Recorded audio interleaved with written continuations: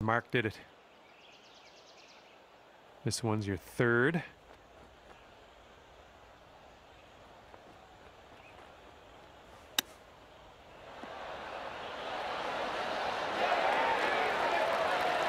Oh, nice little chip there.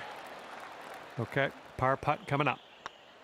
And with that, you get to end your round with a par. Good stuff.